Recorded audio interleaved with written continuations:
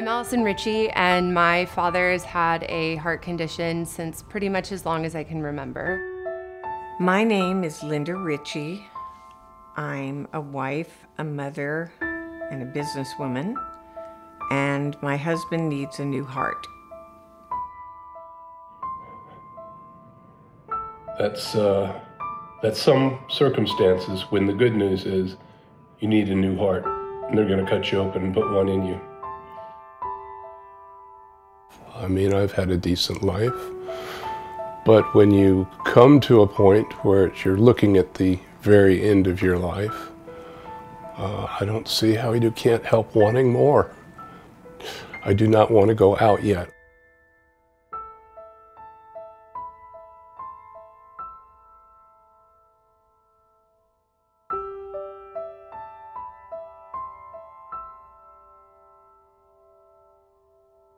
Being diagnosed with heart disease in my mid 40s, I knew I had to do something physically to maintain my health. And yoga just fit me perfectly. And I liked both the physical and the spiritual aspect of it. Waist turns forward, you're sitting on this rump, and the arms come up. I saw him lean into yoga and meditation and personal fitness, which was, of course, inspiring. But then at the age of 70, to end up on a heart transplant list is pretty impressive. I strongly believe that my subsequent 25 years of practicing yoga and teaching um, put me in a physical state that at 70 years old I was able to qualify for a heart transplant.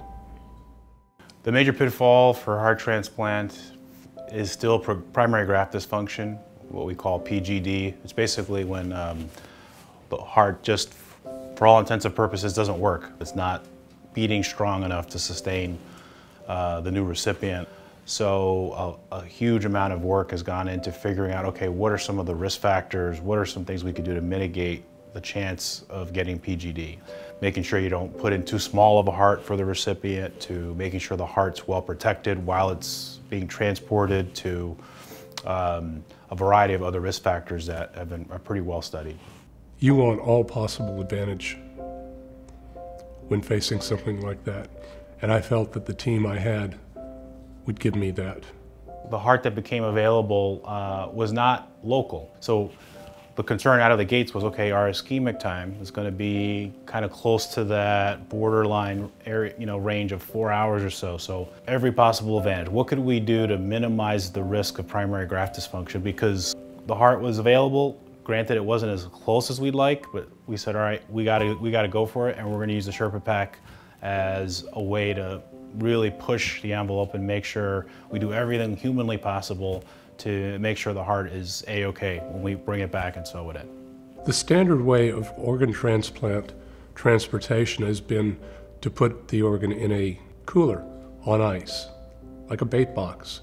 I found out that my heart was transported in a new device called the SherpaPak, which is a constant temperature fluid that assures that the heart is in the best possible condition it can be in when, when it arrives for transplant.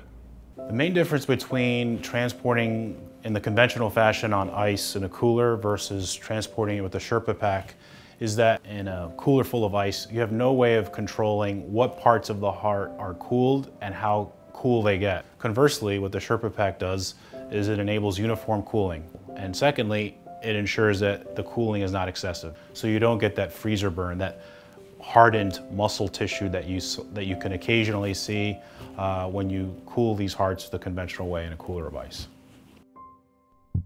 I got you. The adventure begins.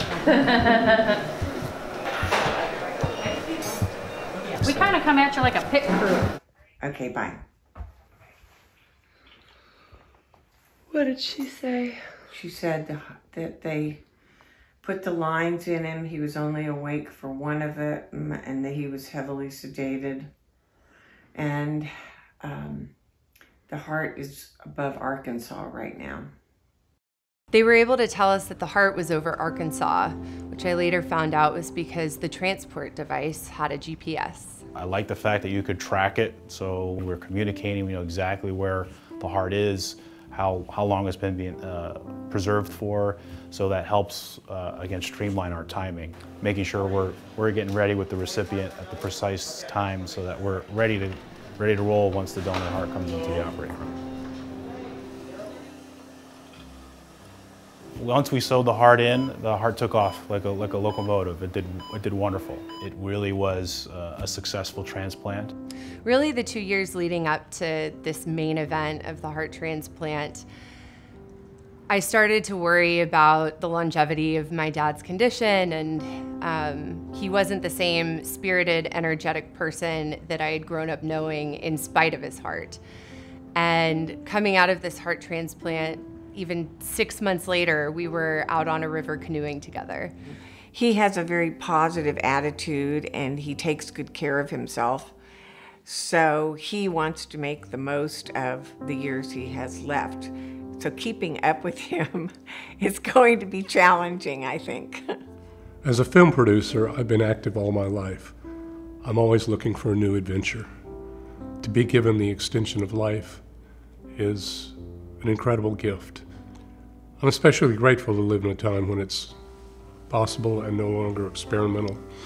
And I'm grateful to the incredible transplant team, the technology, the caring, to the donor and his family.